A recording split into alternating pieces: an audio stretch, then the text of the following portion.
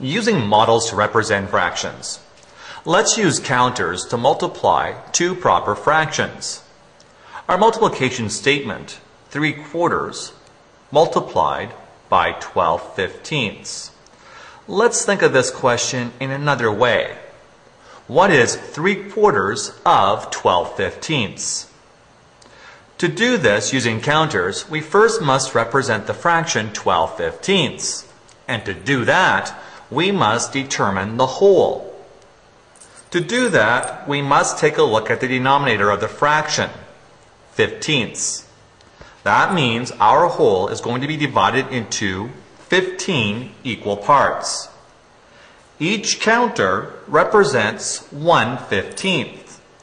That means we need 15 in our whole.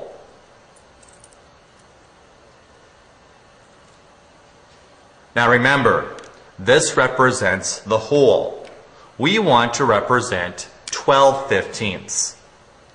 To do that, we must count out each counter or each 1 15th to get the fraction. 1, 2, 3, 4, 5, 6, 7, 8, 9, 10, 11, 12. I'm going to circle my fraction.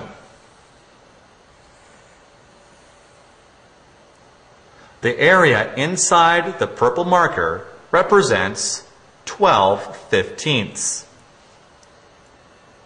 Our multiplication question or statement asks, what is 3 quarters of 12 fifteenths? So let's focus on our fraction inside the purple area. 3 quarters of 12 fifteenths. What we must do now is make four equal parts according to our denominator of our first factor. Using my multiplication skills and math skills, I can find out and determine that I need three counters in each group of four. This tells me that each group of four equals one quarter. I need to represent three quarters. One quarter, two quarters, three quarters. I'm going to circle this area in a different colored marker.